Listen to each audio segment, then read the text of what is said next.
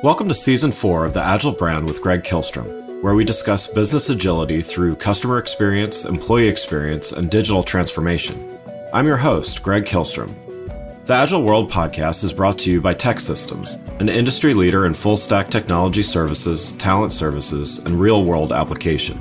For more information, go to teksystems.com. To read more about the topics discussed on this show, you can go to my website at gregkihlstrom.com and read my latest articles or get a copy of my latest book, Meaningful Measurement of the Customer Experience, now available on Amazon and other retailers. My name is Greg Kihlstrom, and I'm the host of the Agile Brand podcast.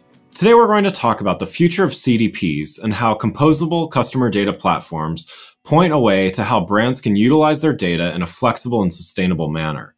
ActionIQ recently put out the Enterprise Guide to Composable CDPs, which helps shed some light on this topic. To help me discuss this in more depth, I'd like to welcome Florian Delval, Director, Technical Product Marketing Manager at ActionIQ. Florian, welcome to the show. Yeah, thank you, Greg, for having me today. Glad to be here. Yeah, looking forward to talking about this uh, topic with you. Uh, but why don't we start by you telling us a little bit about your role at ActionIQ? Yeah, sure. I, I can tell you about, I guess, me on, on my role. So I, I've spent most of my career in the customer experience space with three very different roles in each company I joined. Um, and I have to admit that when I started, I didn't really even know what customer experience meant. Uh, but I was a software engineer in the text messaging space. Uh, and I, I, knew I didn't want to stay too long uh, behind monitors coding. Uh, so I, I finally switched to a customer facing role and spent a few years architecting, deploying um, cross-channel marketing platforms for organizations. Uh, and it's it's just recently that I actually fully transitioned from the IT side to the business side by becoming a product marketer at Action IQ. My role involves very different activities, and it's it's always exciting. But I would say I have very, uh, pretty much two main focuses. Uh, it's education uh, and seeking new opportunities. Education because you, you, certainly know we operate in a very complex space the cdp space. And even if you think about marketing technologies uh, it's even broader uh, with so many vendors. Yeah. Um, on this second part seeking opportunities because i always love finding new places where our product can make a difference uh, and solve organizations pains yeah. Great great well, um, so we're gonna start here by talking about composable CDPs, and I'm gonna include a link to an article you recently wrote. It's actually how I, um, how we met. I read your article and, and reached out and, and, wanted to talk some more. So uh, you wrote an article for the ActionIQ blog. Um, I'll put that in the show notes for some more background. But um, for first, for those less familiar with the term, um, how would you describe what composable means? Yeah, it's it's a great question to get things started. Um, first, for the audience that might be familiar with CDPs, but just in case, uh, CDP stands for Customer Data Platform, um, and there are different definitions. But if I want to be neutral here, I guess I could use uh, the definition from CDP Institute, which defines CDPs as packaged software that creates a persistent, unified customer database, which is accessible to other systems. And now that you know about CDPs, we can certainly talk about that notion of composable. Uh, and here Gartner is defining that idea of composable technologies as digital assets package that can deliver independent, clear, and complete business value. It's it's quite mouthful, so maybe right. I'll, I'll, try to translate that a little bit. Um, yeah. Um, uh, I, I, like to use food analogy. I don't know if Greg, you're a foodie. Uh, a little bit, a little bit. Um, not not as much as others, but but some. okay, sounds good. Uh, what do you think about fixed menus, like testing menus? Um, you know, so I'm a vegetarian, so it's um, it's sometimes a bit challenging, but yeah, yeah, for sure. So you, you see, instead of paying for a fixed menu where you get exactly what the restaurant wants to serve you, the idea of composable means that you, you can pick and choose your meal yourself from that menu. So you're yeah. not forced into that testing menu. Um, and, yeah. and so Gartner estimates that, you know, within the next three years, 60% of organizations will invest in composable enterprise technology. So it's, it's not a small shift. It's actually a pretty big shift and change. Um, and the other thing I would add is prepackaged CDPs were created at a time where the majority of data warehouses were still on premise and they're meant to support analytics workloads, not customer experience workloads. Yeah. But that, that part is, is not true anymore. So with composable CDPs, you can complement your existing investments without being forced in duplication within your stack. Yeah, yeah, and that um, the the number that you uh, definitely I've seen similar things about the growth of of composable and just the the in- investments in it, and you know this certainly presents an interesting alternative to those you know all in one.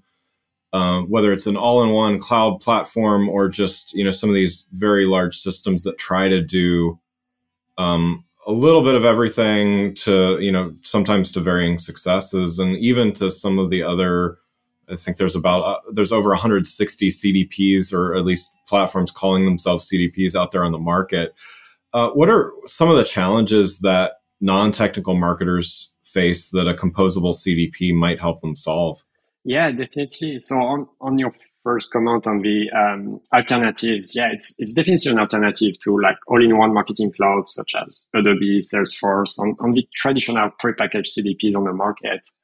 Uh, these vendors very usually requiring you to buy everything instead of what you need. So imagine, for example, you have a uh, you have to pay for a free course meal when you already had an appetizer earlier, or maybe you have a different place in mind for dessert. Yeah.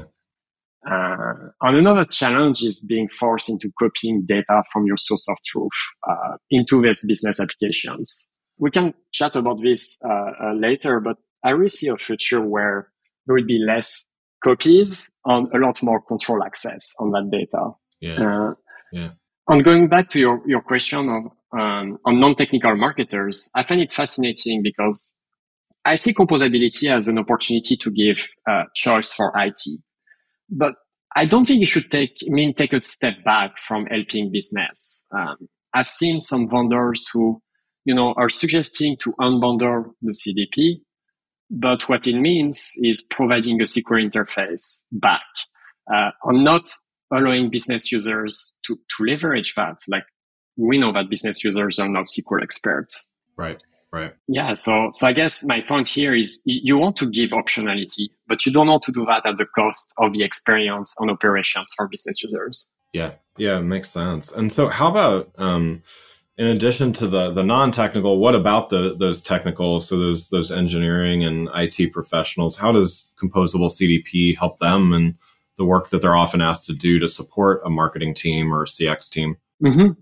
Yeah, so taking a step back, uh, when we look at the situation, IT spends millions to centralize data in, in modern cloud data lakes. So Snowflake, Databricks, BigQuery, just to name a few. Um, and the last thing that IT wants is to be forced to duplicate that data into every business application. And that's, that's pretty much the way it works today. Um, you, you don't want that that investment, that centralization to be to be thrown away by immediately bringing back the silos by duplicating data into some single delivery channel tools like an email provider, an SMS provider, etc. Like a, a, way again trying to translate this is imagine, imagine you're creating a perfect meal like with a balance of flavors, but somehow when you have visitors at your restaurant, uh, they have a small plate, so they can only put some of that uh, meal you prepared, some of those ingredients in their plate. They certainly won't benefit from what you created initially, from that mix yeah. of flavors. Uh, and they won't, what it means is they won't be satisfied with their meal. So, so yeah, um, yeah. Um, you know, if I if I keep going on that food analogy for another minute, uh, yeah, yeah. I'm I'm all in on that uh, today. yeah, yeah. Hey, go with it. so let's imagine you're you're at a restaurant uh, and IT is providing the ingredients. So it's we'll say it's the equivalent of your customer data. And you have appliances which represents your your business applications here for marketing to prepare meals and serve them to customers. If you need a new gas range, you shouldn't be forced to also buy a fridge and buy a microwave. Like you should have the choice to just take what you need. Yeah. Um, yeah. Yeah. Uh, on the same way, like uh, IT needs to have control over these ingredients. Uh, if if it's duplicated everywhere, they might forget about produ- fresh produces, which would be in a corner uh, of a space. They would perish and eventually be used to prepare a meal by, by the marketing team by accident. Yeah. Yeah. Uh, no, like yeah. And, and I have one more for you. It's, it's really, you want to be able to add items on the, on your menu to be able to expand revenue opportunities. So really, uh, at the end of the day, if I try to summarize, like I see composable CDPs as a fourfold benefits. It's choice, control, agility, and innovation. Yeah. Yeah, I love it, and yeah, I think the the the metaphor helps uh, helps definitely helps helps paint that picture to use a different metaphor. so um, nice. So for those um, that haven't quite moved in this direction yet, I mean, as you as you mentioned earlier, there's a lot of companies that are moving in this direction. But for those are that are learning more, that are trying to make a move in this direction, what are what are some of the things that are required in order to make a move to a more composable customer data stack? Yeah, that's that's another great question. Um, I'm gonna move away from the food analogy for a minute, sure. but I'm gonna talk about my home actually. Uh, I mortgage rates are crazy, but I, I still went ahead with my home purchase project. Um, and so if you want to improve your home, uh, unless you have unlimited time on budget, uh, which, which by the way is not my case, um, you, few of us have that uh, have that luxury, right? right. Yeah. Exactly. So in involves like like me. Uh, we have to, we have to split that project into pieces, um, and so the flooring could be one example of of a, a piece uh, of the project. The kitchen could be another one. The bathroom, and etc. You you get the idea. Yeah. Uh, and so the, the same goes with starting to compose your data stack. You need first to identify what are the components which goes into that stack. Uh, and so an example could be to have uh, an identity component. And maybe for some people, it would be even a, a couple of identity components, one for anonymous profiles, one for non-profiles. You will need another component for geo segmentation, one for orchestration, Uh, uh, uh, and so on. So you, you can define this, these components. And the next step uh, I would recommend is look at which pains you have in your stack and start, look at the cost and operations and start with whatever would be the lowest effort with the highest impact. Yeah. Yeah. And on our side, if you, if you, if you want to be even more concrete, I would say what we're seeing people start with in general is this notion of audience segmentation.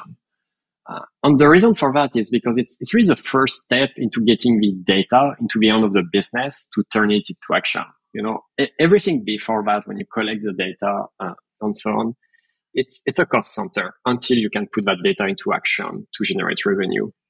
Yeah. Yeah. Well, yeah. And so, you know, kind of, you touched on a few things related to this, but to kind of go a little bit further here um, and to talk a little more generally about innovation within organizations. Um, you know, innovation certainly takes speed. It it takes many other things. How can a composable approach help organizations to innovate more quickly and effectively? Yeah, so I would say, you know, uh, until recently, uh, making a future proof decision was all about making a decision that would be definitive. Uh, yeah. if, you think about pyramids, they're built to stay, you know, right. like it, it was really meant to be static. But now we're in a very different world. I would say we're more in a Lego world. Uh, yeah, yeah. Right, where you build from blocks, and the expectation is that you should be able to switch things. And so change is happening, uh, and it will continue to happen whether you like it or not. So what you need is to find technology which allows you um, to apply that innovation to answer to change. Um, and I, I, can give you an example. I'm sure you've heard about third-party cookies going away at this point. Yeah. Yeah, um, yeah I, I, think everybody's familiar uh, with that. Uh, we've been talking about it for quite some time, but uh, the reality is that the use cases which are used um, using that that third-party cookie, they're not going away. Um, and so a lot of vendors came up with uh, alternative IDs, which they called cookieless ID. And so if I was asking you, Greg, which like which cookieless ID would you adopt, or how would you go with choosing one? Yeah, I mean, I I don't know enough about that to make a to make a decision. to be honest, yeah yeah i mean it probably there's there's certainly there's privacy considerations there's ease of use of data there's there's all kinds of ways to to decide i guess yeah yeah um, you know, it's it's really not simple. It's it's not a simple question. Um, yeah. The reality is, brands will choose certainly the ID which allows them to advertise where they need. On the other side, publishers will want to adopt the solution that brands will choose. So it's a little bit of chicken and the egg thing. Um, but you, you can't be in that choice paralysis. You really need to pick one and start testing early. And so the challenge here is to make sure that you can do that but without being locked in, you want to be able to change your decision in the future if you, if you need to. Um, yeah. And so again, here the takeaway is adopting a composable stack for me. It's it's giving your organization the ability to accelerate organization uh, innovation. Sorry, but without having to worry about uh, making a decision that you can't change. Yeah, yeah, that's great. Well, um, Let's uh, switch gears here a little bit, and let's let's talk a little bit about ActionIQ, um, where where you work. Um, so, you know, as we talked about earlier, uh, there's a lot of players that are not only in the marketing technology field. I mean, you know, that's way over ten thousand players in that Martech infographic that's that's so famous in our in our circles. Um, yeah. But there's also a lot of, of platforms again that, that either call themselves CDPs or, or act as you know as as full CDPs. Uh, what would you say makes ActionIQ stand out from the others? Yeah, for sure. So I think first of all, um, I would indicate that ActionIQ was really built for enterprise customers. Um, that should be a first step to narrow uh, the options on the market. Um, yeah. And, and then I would say that the same way we were talking during this show about providing technology for change, uh, ActionIQ evolved over time to answer organization needs. So rather than looking for statu quo, we're embracing change ourselves. So without going to too, too many details here, uh, we talked about composable CDPs, and I think it's a perfect example uh, ActionIQ was built and developed at the time, um, as we said, where data warehouses couldn't handle the load uh, required by business teams for CX use cases. And so ActionIQ developed a purpose-built infrastructure for this, for customer data.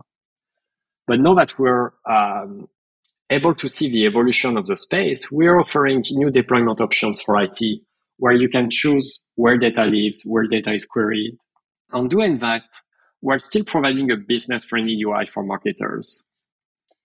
Uh, and so we really truly believe in a world where IT and business are successful without concession. On one side, you will have IT, which can increase the value on their existing investments, drive architecture decisions, keep control on their data.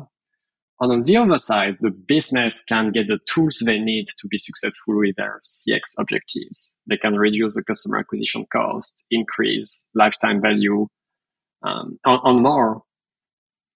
So, in in other words, I would say we believe that IT has the ingredients, great ingredients, and we provide appliances for business teams to make recipes uh, which will convert people reading your menu in restaurants into customers and best first time customers into loyal customers coming back over and over again. That's great. Yeah. Um, and so, you know, besides composable, and you mentioned a few things just now, even, but, you know, be- besides composable, where do you see the CDP market headed? Uh, what should we be expecting in the months ahead? Yeah, I, I think there's certainly a a few things we could talk about. On some are, are predictions to be confirmed in the future. But the sure yeah. the first one I have in mind, uh, I I love tracking about, in the past couple of years is is about the unfolding of advertising world with tech regulation changes. We we chatted about third party cookies. Um, on over identifiers are also going away, uh, you know, but as we said, like yeah. best use cases are not going away uh, organizations are still looking to prospect to acquire new customers. So I think there is an opportunity here for, for solutions like ours to help brands across the entire life cycle from the very first touch points all the way to this more typical CDP use cases, loyalty and retention. And, and so we, we can certainly help reduce this customer acquisition cost. Um, and I, I have a few more predictions. I'm happy to chat about it uh, separately, not going too deep here, but all of them definitely around this, this shift to first party data strategies. Uh, I, I, really think this is what drives a lot of the changes on the market today. Yeah, yeah, agreed. I, I think, um, and there, as as you said, I mean, well, there's some some of the the companies have already made the decision to deprecate cookies and all that. Mm-hmm. Others are still, you know, as of as of recording this, I think what is it, 2024? Google has said, um, you know, that's that's shifted a bit, but you know, it's it's on the horizon. It's you know, it's something that it's it's not if it's it's when it's going to happen, and so definitely, I, I, think it's if it's not on a company's horizon right now, it should be um, definitely. Yeah, for sure, for sure. Well, um, one last question before we wrap up here. Um, what's the one you've given a lot of great advice already and, and, covered a lot here, but you know, what's what's one piece of advice that you would have for marketers that you know they might be struggling to use their customer data as effectively as possible, and you know, what's a piece of advice for them uh, as they navigate the months ahead? Yeah, I I'm gonna try to keep that one short, but I, I might give two pieces of advice actually. Uh, yeah, sure, sure. You can do two. uh, so, so the first one, I don't think you'd be surprised. Uh, it shouldn't be something you haven't heard before, but it's so critical.